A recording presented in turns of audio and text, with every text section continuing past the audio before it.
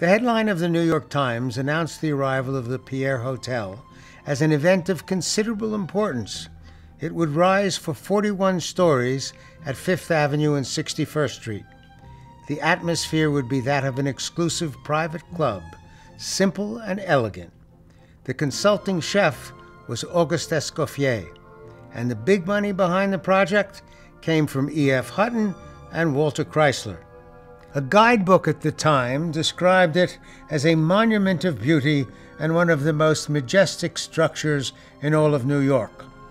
Only one problem it opened up in 1930, which was also opening day for the Great Depression, so the hotel, along with everything and everybody else, fell on hard times. However, in 1938, the hotel was purchased by John Paul Getty, who had made a few bucks as the head of the Standard Oil Company, and things began to look up. The Pierre was back.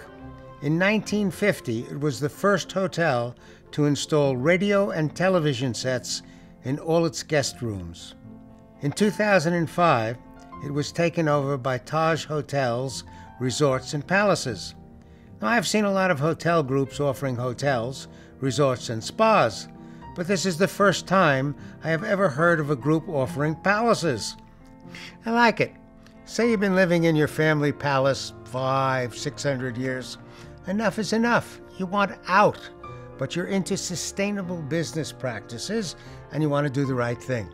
So you call up the Taj Hotel Group and they turn it into a great hotel.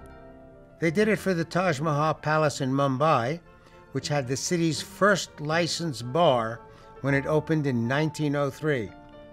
The Taj Group has been around for over a century and they run over a hundred properties. And wherever they go, they bring great works of art from Indian artists. They certainly did a good job with the Pierre.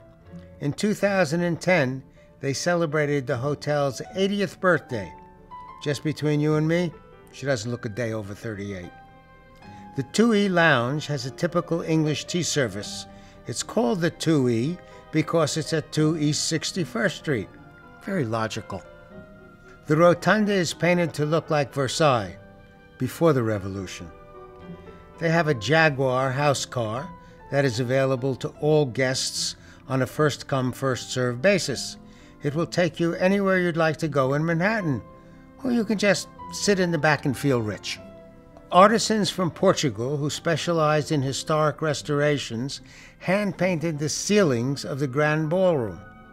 The hotel has special services for children, so we thought somebody young enough to truly appreciate it should explain it.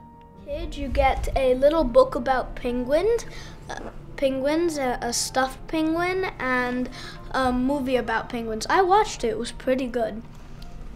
And also, you get a little rocking tiger, and some chocolate and candy. I also have a program for pampered pups. In the 21st century, hotels have to offer things that they never offered before. And the quality of those things really affects the quality of your life while you're in the hotel. And one of them is an absolutely fantastic IT guy. Rajay, here's my problem. when I go to here and I go to there, I run into a problem. What should I do? Okay, so now we can go All right. open the email. It's open. It's- It says it already has. so you Replace. replace it. Got it. Perfect. Ah, Life in the 21st century. Thank you very much.